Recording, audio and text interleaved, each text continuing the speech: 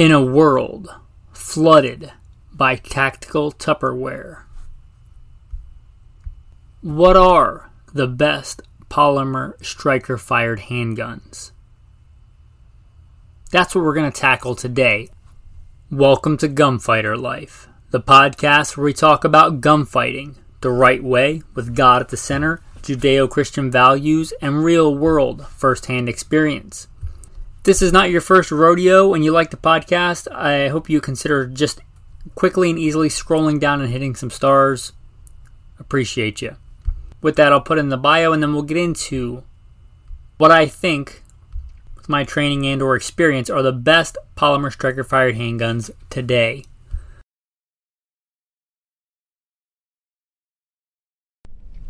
First and foremost, I am a Christian, a servant of God, and a follower of Jesus Christ. God has blessed me to do many things in my life, for I could do nothing apart from Him. U.S. Marine Corps combat veteran, did a couple of tours in Iraq. As an assaultman after my combat tours, I was an urban warfare instructor for the Marine Corps under Mojave Viper. Also served in the U.S. Army, both full time and part time National Guard. Also did several years in law enforcement, LAPD. I worked regular assignments and more specialized assignments been a private contractor for a three letter government agency. That's all I'll say about that. Been blessed to be a state rifle and pistol champion and West Coast Regional Rifle Champion. Won more shooting competitions with the talent that God's given me than I can actually remember. Was blessed to be the commander of a tactical team in a large metropolitan area. Our primary job, the reason we primarily existed, was to stop active shooters. I got the opportunity to head up and be the commander of that team. I grew up around guns, hunting and shooting, and competing at a very early age. Been blessed to hunt all over this beautiful country from whitetail on the east coast to mule deer on the west coast, and bear and elk and all manner of things. I've even been a professional big game hunter and guide. But again, most importantly, I'm a Christian. All right. The best polymer striker fired handguns to date. A couple of caveats. These are full size fighting handguns, something you might use as a fighting handgun, as in military, police, and hopefully for your daily carry, a full size fighting handgun. I'm not including any subcompact guns in this review. Also, I'm not going to mention every mod. This is like make and model. If it's very similar, I'm not going to mention it. Just deduce that the other one would be good as well. Right? Like I wouldn't do a 19 and a 19X as two different things. If you want a black Glock or a peanut butter Glock, that's up to you. Also, I'm not going to talk about brand new guns that just came out at SHOT Show. Now, this doesn't qualify because it's not striker fired, it's hammer fired, but the new Rock Island Armory 5.0 they call it.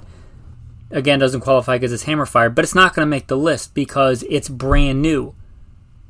You don't know if it's good or not. It may be genius, it may be an abomination. Don't be a beta tester in a gunfight. These are proven good guns. They're not necessarily have to be that old, but they have to be around long enough that they have kinks and issues worked out of them and they don't have any overarching problems with the design. And if they did, they wouldn't make the list, right? Because this is the best polymer striker fired handguns, per my training and experience. Enough of that. Let's get into it. Number one the M17. The M17, the military's new polymer striker fired handgun. It's the U.S. military's first mass issue, right? They've issued out Glocks and stuff before, but their first mass issue polymer striker fired handgun. Done two whole episodes now on the M17. The handgun I hate to love, I think, was the title of one, and a year in review. I bought one kind of reluctantly. I'm not getting into that whole story. Got a good deal on it. Wanted to run an optic. It's a good handgun. It's a good handgun. It's not the first modular design. It's not even SIG's first modular design. They had the 250, which flopped. But the 320 was around for a while. It had some issues. and there's new models of the 320 coming out all the time, I would advise you to be judicious and get something proven again. But the M17, I think, is proven. The Army, the Marine Corps, has not spewed it out of its mouth.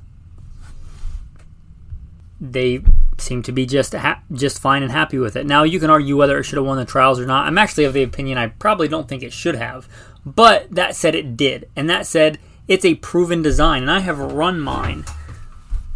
It's actually on my hip right now. That modularity does have some advantages. That fire control unit, I think, although more complicated than a lot of other designs, again, is, is shown to be proven. At least the M17 variant of that. And by that, again, you can deduce the M18. Whatever I'm saying about the M17, the M18, likewise, I said, no problems if you want the barrel chopped off and you want a smaller barrel, smaller slide. Get the M18. But that's one of the cool things. You could just have one and then just get the barrel and slide for the other. And you pretty much have both somebody that I know that lives in a fairly restricted state, and this is going to be his first handgun. He just turned old enough to receive a handgun, and he lives in one of those states where you have to get a little bit of permission to buy a handgun, which is what it is. But he asked which handgun for a first handgun, and I recommended the this platform, M17, M18, 320 if you want. But it's good for that reason. It's a modular, and especially somebody getting into handguns might not know exactly what grip size they are, what grip size they want. Yeah, you can get a Glock and take a Dremel to it, or another polymer striker fire handgun and take a Dremel to it. I've certainly done that, but with this, you could just get a new grip module and you haven't destroyed a gun if you do something wrong. The quality of the components are very good on these SIGs. I'm not a SIG fanboy, I'm really not. I reluctantly bought the M17. A big part of that was I wanted to see what the military's new handgun was going to be. But it's a good handgun. So good, I put it in the number one spot. It's accurate, it's reliable, it's modular. It's not expensive. It's not a cheap gun, but it's not crazy expensive gun. It's a good value. I'd say it has good ergos, but it's modular, so that's kind of a moot point because if you don't like the factory grip module, you just spend not a lot of money, at least compared to whole guns, and get a different grip module. The M17 M18 comes ready for an optic. That's awesome. Unlike a lot of newer designs, and I still consider this a newer design, the mags, because I think was adopted by the military and has become very popular, the mags are not overly expensive. The magazines work. Their factory ones actually are not my favorite. However, they work well and they're not expensive. That's another plus for this gun. Wilson Combat makes stuff for it, another plus it's just a good gun, and for the value, for the money. And a big reason why is if somebody came to me today and said, I want to get serious about training with a handgun, about being a maybe not even a gunfighter or a student of the gun. They want to be a well armed, well regulated person in a militia. They want to be part of that citizen protective force. Just let's leave it at that. And they said, I want a good handgun. I'd like a good polymer striker fired handgun. I would recommend the M17. That'd be the number one thing I'd recommend. And that's why it's in the number one slot. Moving on to the number two. Number two, the Canik Rival. Yeah, it surprises even me. One of the very few handguns that I reversed my decision on. When these first came out, I knew somebody that had one. Let's just say we were doing work in the private sector. He tried for a long time to get that gun to work, and it just. He loved that gun, but it did not love him back. Let's put it that way. That was early on, I think. The ones lately have impressed me, and by lately I mean for several years, I think. The quality control seems to be good. The Canik Rival is basically a new iteration of the SFX. And the reason it makes the list and so highly on the list is it's so much for the money this is definitely, I think, the best value on the list. It has so many features. It comes with a magwell, it comes optics cut, and not only comes optics cut, it has, in my opinion, of all the factory ways to mount optics, and I've mounted quite a few. When I was managing a firearms and training company, that was part of my job, part of what I did. I rolled up my sleeves and did gunsmithing work as well. and I mounted quite a few optics. And the best factory mounting system I have seen hitherto for is the Canik. It's solid, the cutouts are solid, just it's well designed and well thought out. It does not seem like a cheap afterthought like some other guns did with their mounting system. Glock, I'm to call them out on that. But the Canik really does have a really good mounting system. It's beefy, it's robust, it's again well engineered and thought out. The Canik Rival comes with that. It comes with I, I don't know if the, if the best, but just an exquisitely good in as far as polymer striker fire triggers go, an exquisitely good trigger. The ergonomics on it are fantastic. Not modular, but the ergonomics on it, at least to me, I mean, right, that's kind of individualistic, but good ergos, comes with a magwell, comes with a bunch of extras, optics cut, optics ready, good quality if you if somebody came to me and said, "Hey, I have been handgunning for a while. I want to get into competition." I'd say, "That's awesome. Good for you. Take it to the next level." And they're like, "I want to get into handgun competitions. What should I get?" Canik Rival. Like I'm just gonna Canik Rival. If you want to shoot competition, Canik Rival. It's made for that. You could carry it as a carry gun. I would have no problem as long as I got mine and ran it and made sure it was good. Because even the most reliable, reputable versions of guns can have issues, but as long as I ran it and it was reliable, I carry a fairly big gun day to day as my go to EDC gun. Most people aren't going to carry a gun this big. If you wanted to, it would be a good choice, but mostly when I think about this gun, I think competition shooting. It's even got that kind of panache, that flair, if you look at it. A quite strikingly attractive gun, perhaps the best looking gun on the list. Anyway, the Canik Rival, you get a lot for the money. Moving into the number three slot. And my personal favorite, but I try to judge soberly. I'm not going to make it number one because it's my favorite. The Smith & Wesson M&P. Now, by God's provision and blessing and the talents He's given me, I have won more shooting competitions with a Smith & Wesson M&P than any other handgun, hands down, by far. Also, my wife's full-size fighting handgun that she had before I met her, Smith & Wesson M&P. I really like the 1.0s, the old school. What I carried as a police officer, I carried several of them, went through several different ones of them, and also in competition, I wanted to carry a similar gun to what I shot in competition, Smith & Wesson M&P. I really like the pro models. And what I would call full size, a 5 inch barrel, like a 1911. Most people will call that like a long slide. I just call it a full size. I still consider, I guess, the Smith & Wesson 2.0 kind of the newer version, but it's been around a long time. I don't know exactly when, but it's been out for years. If I'm picking a model, and I have a lot of experience with the Pro Series, I really like them. They make a Smith & Wesson Pro Series core, again with that, what I would call full-size barrel, cut for an optic. Phenomenal. Again, one of my personal favorites. Even I will concede that the trigger on M&Ps is not great. Even the 2.0 is not great. That said, if you shoot them a lot, they can be worn in to be quite well. If you pull the trigger, and if you do a little bit of work on them, as I did on my competition gun, you pull the trigger on my competition gun, and it's just, it's a thing of beauty. They also make that same full size barrel version in the Optics Ready in the flat dark earth. I'm looking at it right now. The SKU is 13569 if you care. That also, that one or the black one. The other one's the Pro Series. This one or that one. This actually is a little bit cheaper for what I'm looking at. Any of those full size models, if you're not going to mount an optic, that doesn't matter. But I'd say in today's day and age, you might as well get one that's optics ready.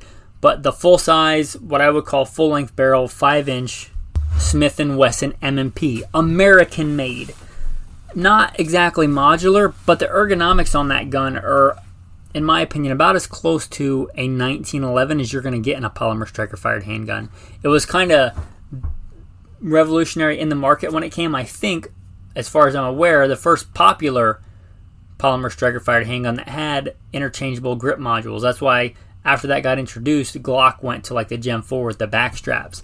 But the Smith & Wesson M&P, I think, starts off with better ergos and those interchangeable back straps are far better than the Glock back straps. They're not just a thing on the back of it, right? Again, kind of an afterthought to say that they have some kind of modularity. They are actually palm swells and change the ergos in the hand, and they're they're done quite well. unlike the M17, where it's quite a bit more complex, I think, than it needs to be, especially if you compare that to like a standard Glock 19. If you look at both of those, the engineering and the number of parts and things, it seems a little bit more complex. The Smith & Wesson M&P, I think, is just as simple and reliable. In my opinion, I'm going to go ahead and say it. In my experience, Smith & Wesson M&Ps are every bit, if not more reliable, than Glocks.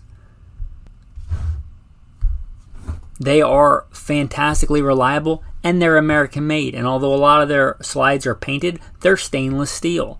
I like that. They have a beefy even on my comp gun, I cannot even fathom the number of rounds I put through that thing. Never had an extractor problem. It has got a beefy, heavy steel extractor, a lot beefier than a lot of other handguns. It's a proven design. I honestly kind of like the looks of the old Gen 1s better, so if you find one of those, kind of a hidden gem, because a lot of people might want the Gen 2s.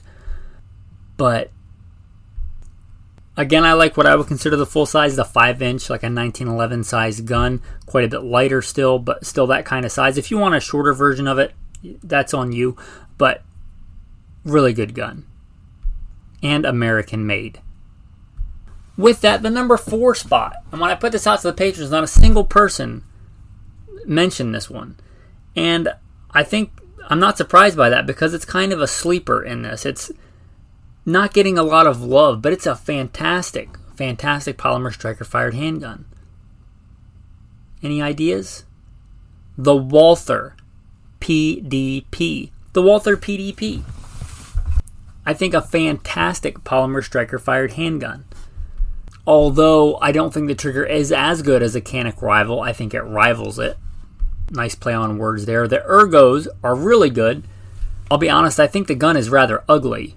But when you pick it up, it looks like it would be big and heavy and clunky, and it looks that way, but it doesn't feel or handle that way. The ergonomics, especially for me, you pick it up, it, it feels really well. The texturing is done really well. Again, it looks like it would be heavy, but look up the specs on it. It is not a heavy gun. It comes what I would consider a full size, and then it comes in smaller versions. But it's been around long enough now. I've heard no quality issues with it really. I, I think they all come optics ready to PDP. There may be some that don't, but get the optics ready one if you have any desire or think you might sell it one day. Get the optics ready version. Not the best optics mounting system, but better than some. It's light, it's handy, and not the most attractive to me, but beauty's in the eye of the beholder. You may think it looks really good. I certainly think it looks better than a Glock. If you're the kind of guy that just wants something different, if that appeals to you, like you want you want a carry gun, uh, duty gun that not a lot of people have. You might look at that. I mentioned I like a 5 inch. Well, the PDP makes a 5 inch full size and they make a 5 inch compact. That on itself is cool. So you could get a full size like barrel slide, you get that extra velocity, that extra, you know, sight radius, all the things I liked about that, the grip and the real estate on that slide for fixing malfunctions for double feeds and things like that. Try doing that on like very small gun. I'm not picking on this gun, but try fixing a double feed on a Ruger LCP versus like a full size 5 inch fighting handgun. You get that full slide, all the benefits, the extra velocity, all that, and you can still get it with a compact grip. And if you carry it at six o'clock like I do, that's kind of appealing. It's it's they're good guns. They really are. They do make smaller versions if you want a smaller version. Their full size version, 18 rounds if you're like the capacity guy that just wants the one or two more rounds. 18 rounds. That's quite nice. It's a standard flush fit mag, unlike like the M17 where it's 21 or I think 21 rounds in the big mags. I've got one in my spare. Yep, 21 rounds. That's my extra mag on my side, so it's easy to check but that hangs out quite a bit. This gives you 18 rounds flush fit. Anyway, the Walther PDP, kind of a sleeper, really good grip texture, really good ergonomics, kind of ugly in my opinion, but hey, if it's an ugly gun that works really well and has good ergonomics and shoots well, you know, whatever. And you might think it's attractive. And the number five slot. I gotta put Glock on the list, right? You know, top five handguns. I gotta put Glock on there. Because they deserve it, right? They deserve it. They're a giant chunk of the handgun market. they are proven they're kind of the ones. They weren't the first polymer striker fired handgun, but they were the first one to really make it a thing, right, and make it a movement. They are so popular across so many different genres of shooting, right? They're kind of the Taylor Swift of the handgun world, if you will. Kind of this unstoppable force. Like them or don't like them, they're kind of everywhere, right? I think they deserve to be in the spot, but I don't think they deserve one of the top spots because in today's market, 2023, there are so many options that even for the money you want just as much reliability, same kind of price point. Smith & Wesson M&P and they're made in America. You want to start shooting competitions, you go the Canik route. You get so many more features. So much more for the money. Better optics mounting. It comes with a bunch of different optics plates that are good ones. Comes with a magwell, a, a bunch of other stuff, right? Really good trigger out of the box. You want modularity, you want proven reliability, you want a common platform with common mags, M17. If you just want to stick with Glock because you love Glocks, then I'm going to put Glock on the list. The Glock 17, the original, the OG. Now, I like the original Gen 1, Gen 2s. I like less the Gen 3s and Gen 4s. I think they got a little crazy there with the finger grooves. You know, who am I to judge in the 90s? I had, you know, a rat tail and a fanny pack. So I can't really judge. Can't really judge on aesthetics, but anyway, the finger grooves were a horrible idea, as were rat tails. But let's move past that. They are reliable. They are kind of the standard, right? So I think we have to put a Glock 17 on the list. The Gen 5, unless you're going all the way back to the Gen 1s, I think is the best. I if you really are going to dedicate yourself to an optic, I advise you to direct cut and direct mount have your slide milled for whatever optic you want. I especially advise that on a Glock because I really don't like their mounting system. I think it was kind of an afterthought. They kind of thought, how can we mount an optic on here with doing as little as possible and not messing with the engineering of the slide, which I get. They're, that's one of the reasons Glocks are generally so reliable because they stick with what they know. But I don't think it's the most robust mounting system. I'd say get it direct cut if that's what you want to do. But a Glock 17 deserves to be on the list. And again, you know, if you want to deduct a little bit and go to the Glock 19, both in barrel and capacity and all that, go to the Glock 19 route. But it deserves to be on the list, but I think it deserves last on the list. A lot of Glock lovers out there will maybe disagree. That's fine. You want to contact me, goodshepherdtraining.com. Realize you're talking to somebody that has run Glocks. A lot, right? I ran them as a police officer. I ran them as a private contractor taught at one of the largest shooting schools in the country and I think the world. A lot of experience with Glocks. That's where I think they deserve to be.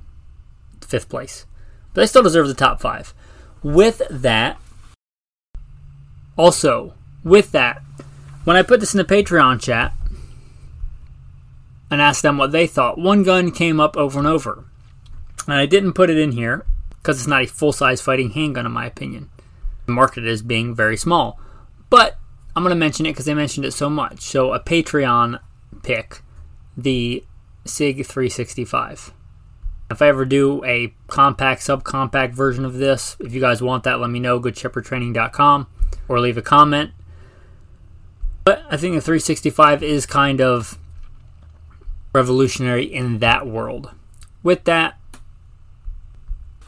I am going to start wrapping up the show. If you want to support the podcast, appreciate good gun content that's not full of blasphemy and disgusting, filthy language and all that stuff. Also, that's not biased. Like somebody's not sending me a handgun and paying me to tell you how good it is, right? You want an honest, unbiased opinion. If you want that, you want to support the podcast. There should be a Patreon link in the show notes. Also, if you want something tangible, there is a gear store, goodshepherdtraining.com, goodshepherdtraining.com. As a thanks for staying tuned till the end, a tactical tip of the day. If you're going to run iron sights, and I love iron sights, even on my optics guns, I prefer backup iron sights. If you're talking backups, like I'm looking through the optic to see the iron sights, I like just black. For everything else, including my competition guns, duty guns, I like a bright front sight, whether that's just a white dot or fiber optic or tritium fiber optic I like a bright front sight and a completely black rear sight. I advise you to configure your guns that way. Just standing static at an indoor range, shooting one round a second at seven yards really makes no difference. But if you're going to push yourself and go fast, I really advise a bright front sight and a black rear sight. Couple of things you can do if you have standard three dot sights like they come on an M&P, just take a Sharpie and black out the rear sight. So you got a black rear sight. Ta da! If you're running factory Glock sights, you're probably going to change them, but if you don't, leave the front sight how it is. The rear sight comes out pretty easy. You can just push it out pretty simple usually or tap it out and flip it around. Front of that sight is black. Of that giant white U notch. Flip it around so you got a white dot in the front and a black rear. Anyway, that's your tactical tip of the day. Your tactical verse of the day. Verse of the day from 1 Corinthians. Do you not know that the unrighteous will not inherit the kingdom of God? Do not be deceived. Neither fornicators, nor idolaters, nor adulterers, nor homosexuals, nor sodomites, nor thieves, nor covetous, nor drunkards, nor revilers, nor extortioners will inherit the kingdom of God. I don't care whether you like that or that's popular in popular culture. You take that up with the Almighty. That's the Word of God. If you think that's not true, I'd say you're deceived. That passage we just read started with, Do not be deceived. With that, thanks for listening and have a blessed day.